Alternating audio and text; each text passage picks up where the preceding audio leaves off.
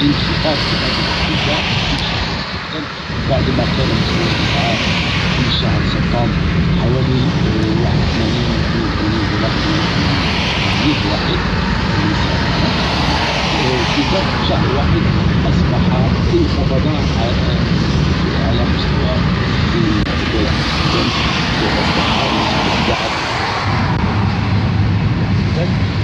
انهيار كبير في أسعار النفط.